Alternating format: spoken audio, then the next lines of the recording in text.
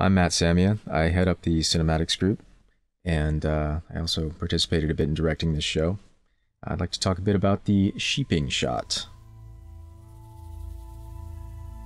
So, in the game, obviously, uh, one of the cooler things you can do is turn your opponent into a sheep. And one aspect of it that's really uh, it really makes it cool in the game is it, it's somewhat humorous, right? I mean, it's just it's just funny. It's a cool thing to do because it makes you giggle, right? So we thought, why not get a bit of that into our intro? What makes this game really special and interesting is there there is an underlying humor uh, in a lot of ways, and so we wanted to start to get that sort of start to bring that aspect into what we're doing here and uh, see if it doesn't it doesn't resonate with the with the players a bit. Uh, so it turns out that uh, modeling a sheep, creating a sheep in CG is not actually as straightforward as you might think. It had to meet several criterion. One is it has to look like a sheep. The other is it has to strike a balance between reality and fantasy, and it has to just be kind of funny. So we went through several hairstyles trying to find what, what is the optimal sheep haircut going to be for this shot, and uh, well, settled on the one that seemed to work the best.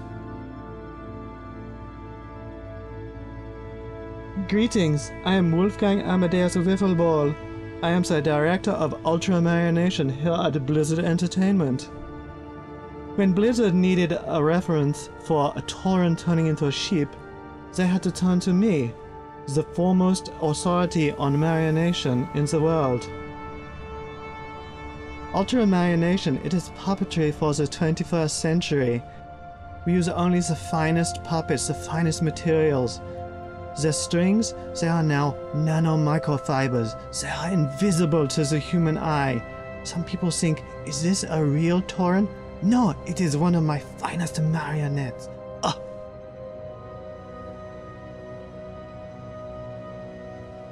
One of the things that we wanted to do in this intro was to tie it into the last intro. We wanted to bring back some of the characters that we had seen previously. We wanted to get the mage back in there. We wanted to get the undead back in there. Uh, that's a couple of examples. But we wanted them to have been through some adventures in this world. We wanted them to have lived a bit. We wanted them to have some epic gear. So this is actually the same mage that we saw before. Difference is now he's got way cooler junk He's actually got a haircut too, for some reason, that we can't quite explain. But other than that, he's the same guy.